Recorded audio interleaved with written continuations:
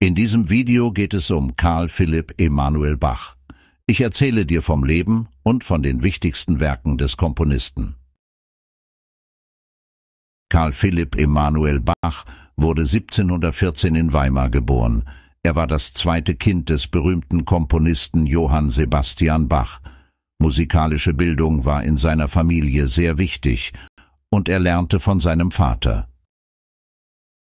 Nach dem Studium der Rechtswissenschaften entschied sich Karl Philipp Emanuel, Musiker zu werden.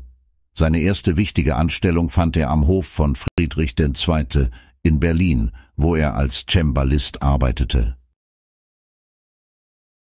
Karl Philipp Emanuel Bach ist bekannt für seinen empfindsamen Stil, der die Musik der Klassik vorwegnahm. Er experimentierte mit Formen und Ausdrucksweisen und beeinflusste damit die Musik seiner Zeit erheblich.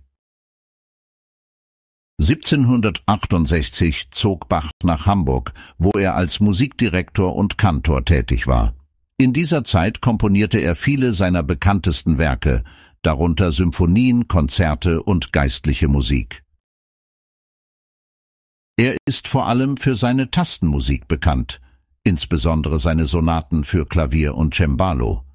Diese Werke hatten einen großen Einfluss auf die Entwicklung des Klavierspiels und der Klavierkomposition. Neben seiner Tätigkeit als Komponist war Karl Philipp Emanuel auch ein einflussreicher Musiktheoretiker. Sein Essay über die wahre Art, das Klavier zu spielen, ist bis heute ein wichtiges Werk zur Interpretation der Tastenmusik. Puccinis Einfluss auf die Opernwelt ist bis heute spürbar.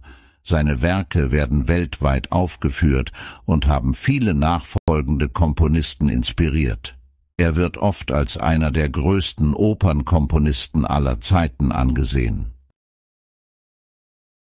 In seinen späten Jahren konzentrierte sich Bach vor allem auf geistliche Musik und hinterließ ein reiches Vermächtnis an Kantaten und Oratorien, er starb 1781 in Hamburg.